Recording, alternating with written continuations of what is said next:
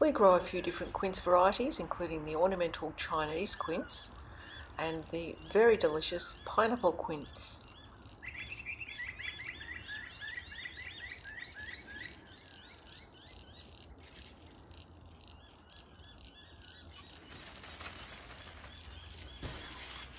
You can make quince leaf tea quite easily. It's the month of June, which means it's the first month of winter here where I live. And the quince trees have almost lost all their leaves, but there's a few left and I'm going to pick some quince leaves to make quince leaf tea.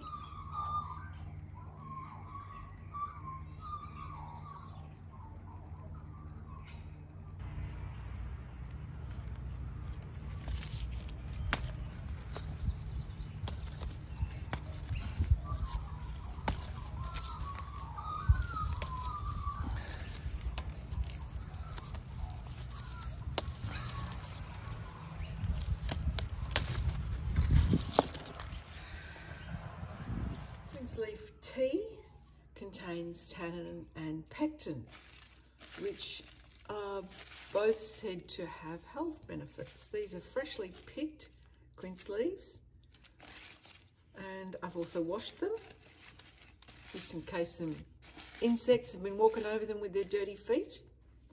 And to make this quince leaf tea is putting some leaves into this well, I don't have a teapot at the moment, so this is a coffee pot, but this will just do the same job.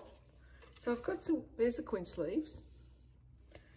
And along with the quince leaves, I'm just going to add a little bit of lemon verbena, which is a very nice fragrant herb and has a beautiful fragrance and flavour. So a bit of lemon verbena. And also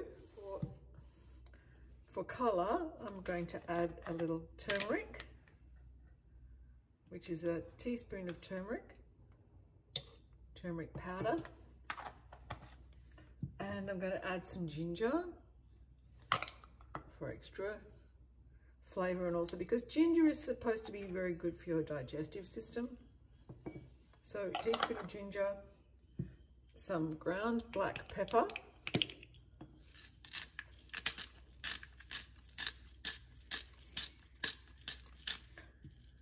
Um, can help you digest. And I'm also going to add some lemon. Just a little bit of freshly cut lemon, chopped up. Freshly picked lemon, I should say. So, goes the lemon. And that's everything, except I've got to add honey later, but not until the tea is ready. So Time to add boiling water.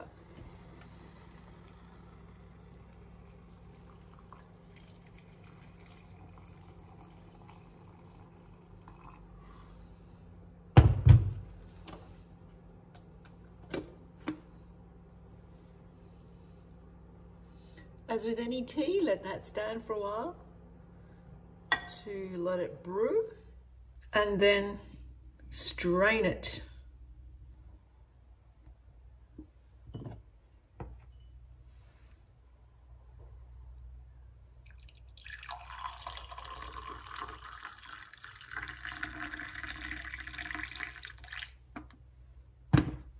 And add some honey.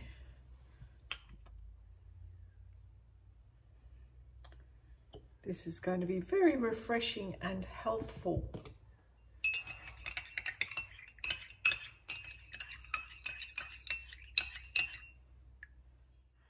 This tastes really nice.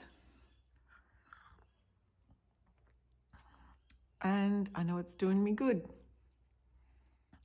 Quince leaf tea, cheers.